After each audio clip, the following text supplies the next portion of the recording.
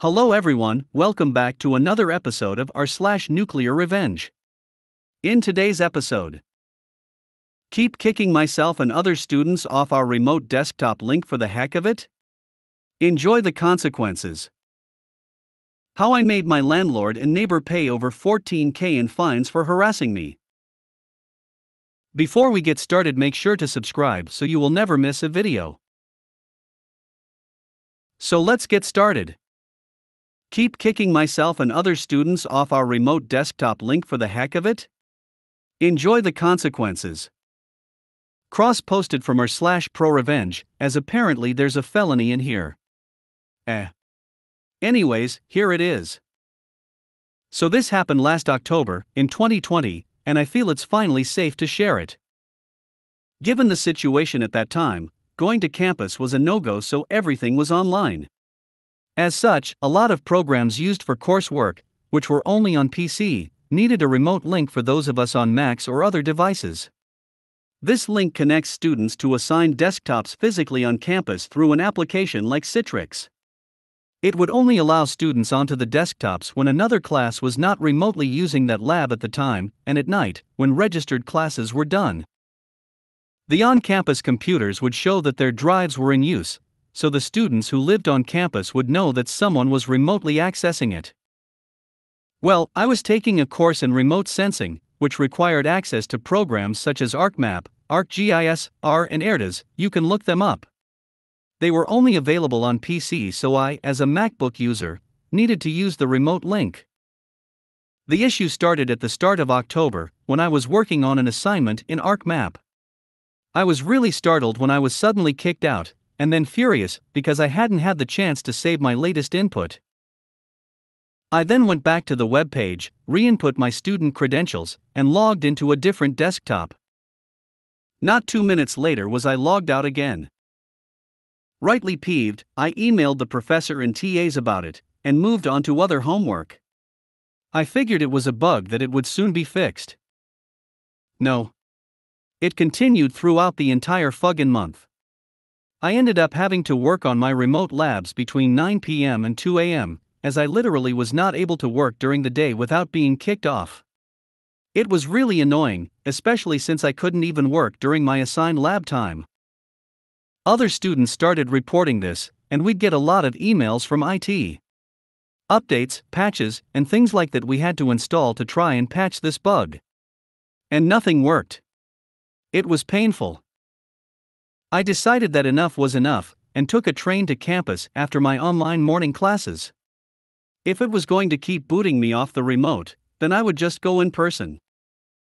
I completed the online health check, got to campus no problem, and made my way to the building that housed all the PCs. Yes, we have a building that houses all the PCs for computer classes.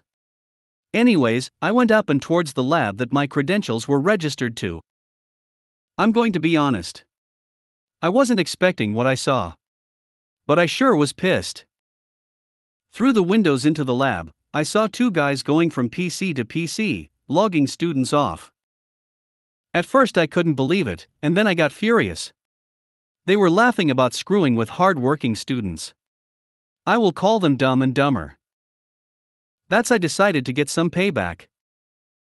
I pulled out my phone and placed it beside the window, and it was partially hidden by the trash bin inside the classroom, recording them and what they were doing. They didn't notice me, thank God, and I got onto my laptop, remote linking to my phone. I then got onto the university social media page and started to livestream the video from my phone.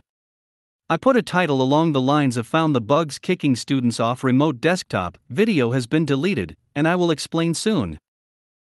It didn't take long for fellow students to take notice of it, and it went viral within 30 minutes. Names were soon put out as Dumb and Dumber were recognized, and there was a lot of hate in the comments. Even campus police replied, asking for the location. I was all too happy to give it. It was then I saw on the stream that Dumb pulled out his phone, and he started freaking out. He had noticed the stream and that it was live. I quickly rushed to grab my phone and retreat, and that's when Dumber rushed out the door and friggin' tackled me.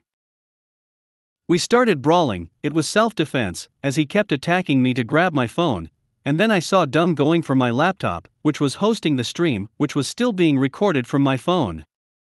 So, I kicked Dumber between the legs while elbowing him in the neck, before jumping Dumb. To be honest, I don't really know what happened next, but I do remember campus police having to pull me off Dumb. Apparently, I had full bodied tackled him away from my laptop, and he punched me in the face. With me apparently grabbing his carry on bag, bashing him over the head with it, accidentally cracking his laptop. Oops.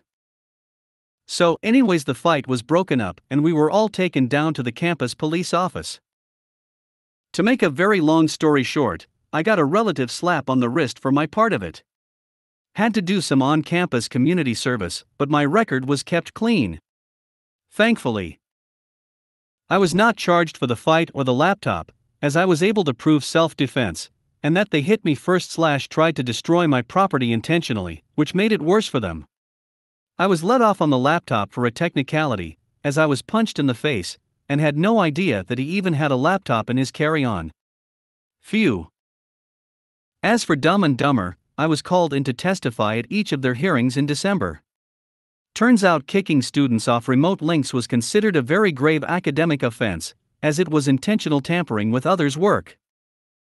The video stream I took was a big part of the evidence against them, and CCTV proved that they had been doing it for weeks. In almost all the computer labs, they had intentionally messed with over a hundred students. Adding to attacking me, I had a nice shiner for a month, and my devices, instead of running, they got into pretty hot water. Now, the reason this wasn't discovered sooner was due to the fact that this remote link was new to us, and IT was still working through the bugs. I don't know exactly what happened next, as they just needed me to come in, masked, and tell what I did and remembered. However, I did get notification in my email in March this past year that two students were expelled for intentional tampering of other students' work. Can you guess who? Yup, Dumb and Dumber got the boot for their dumb actions. It gets even better though. Turns out they were here on student visas. Which meant that not only were they expelled from the university with a black mark on their records, they were also given the boot from the country. And most definitely back to their very disappointed parents. Maybe it's karma, but they got publicly exposed on a live stream for their actions for all the school to see, which was taken down due to it needing to be evidence against them and all. But yep. They were expelled twice for their dumb actions, and with their names in campus infamy for their stunt. Hope they've learned their lesson. Kept from original post. How I made my landlord and neighbor pay over 14k in fines for harassing me. This post was originally shared on malicious compliance, and I was told about this subreddit by about 20 people. I don't post much. But it seemed a better fit. New info we bought Apple AirTags, 29.99, each so not bad at all. And now have an alert set if they exceed 15 miles an hour. It has a built in speaker and GPS tracking. Even if this idiot removes their collar, he won't realize the collars are being tracked. I have a fast car. I'd be behind him so fast it would make his head spin. First of all, before I start him, about 80% these two are involved with each other in romantic way. But I can't confirm. Now I'm not an expert writer nor am I going to spend an extended, keyword, extended, period of time making sure everything is perfect. I did it once or twice over, but there's just so much and am still a little frazzled by TE situation. I've had difficulty putting my thoughts on paper since elementary. This doesn't mean I won't do my best. I'm sure there's run on sentences and improper spelling. I don't think this is a prerequisite for sharing your experience. So I travel a lot, and I live in an RV mostly full time. I've stayed at the same park, however, for the last nine months. I've had issues here, they have called the police on me for arguing. Not joking, they will ignore me in the office. All because there was a small mistake on the paperwork when I stayed here on an overnight nine months ago. Something happened, and they tried to use that to kick me out. However, the owner said it didn't matter, and all info is pulled from the registration. So, blaming the paperwork for being off by one year on the RV as a cause for eviction was far fetched. There was a few other incidents, but I just figured it's cheap here and I can pay my rent over the phone, who cares? and don't really plan on going anywhere as where I am all the parks are full for snowbird season plus I got a new job here. Anyways, we had a neighbor who was miserable. We could tell from day one. We also have two cats. They hang out on our porch mostly all the time. Occasionally they stray, but they're older and don't go far. So, around six weeks ago, after nine months of being my neighbor and never saying a word, he started acting very erratic. Randomly approached my wife as she was washing the car outside and got in her face and started screaming, saying that he dug cat poop out of the dirt behind his 1979 bus on bricks, and now he was going to put traps out and poison. Somehow management had heard the commotion, or he had told them to come, but they pulled up and quickly pulled him to the side to talk to him privately refusing to even listen to us. We were very weirded out. Calling him baby, sweetheart, etc. So they said it's his space, he can trap all he wants. If your animals are going onto his property, then that's your fault. Now, this park is known to have so many cats they keep feeders by the front office. I warned them what they were doing was illegal, but they said, We've been doing this a long time, we know exactly what we're doing. Call animal control if you don't believe me. I said okay, but he threatened to poison them, so I'm making a police report in case anything happens. I want him to be on record as having threatened them. They came, took the report, and oh man, did that make him mad. Still, at this point, I hadn't figured out how to get my revenge. Animal control said it was legal and didn't do anything. We immediately got the cats microchipped and went to Lowe's to buy cat traps to teach our cats what a trap is and how to not go into one. Easiest trick Eve ever taught an animal, Took one try now they're terrified of anything resembling a trap. We were stumped. The cats were going stir crazy. Then, five days later, she leaves a letter on my door, a self help eviction saying I have no choice but to leave immediately, and she was turning off the power on X day. I told her if she did, I would call the local police as that's a self help eviction, and you've already demonstrated malice by calling the police on me for asking you a question you don't like assisting in the trapping of my cats while encouraging other cats to stay. Self help evicting, and at one point she refused my CDC declaration letter, and I have all these things recorded on video. On top of all this, she says he needs to start his Harley and let it run for 45 minutes to warm up even if he's not riding. That's what Harleys need two feet from my bedroom window when he knows I work nights and I'm asleep. Essentially, trying to force me out.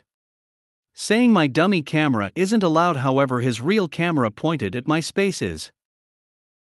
I was very prepared for an eviction threat as these guys get away with so much being that they can threaten eviction and people will just roll out in their RVs. Not me, no, no.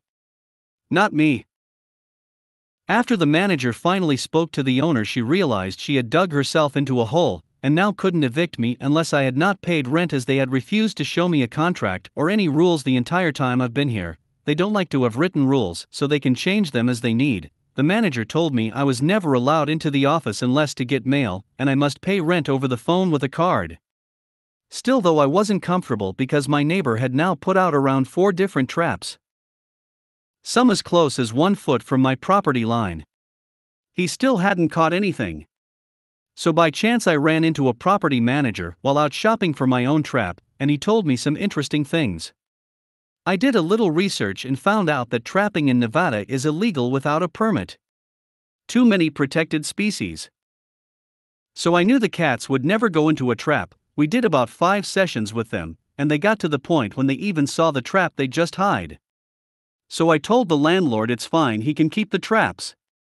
I had heard from a neighbor that he saw the manager opening up the storage room and loading his truck with animal traps. But he didn't know about our situation, so he was confused. This is when I put my plan together. I knew the longer he saw he wasn't getting his way, the more traps he would put out. And the more erratic he would become.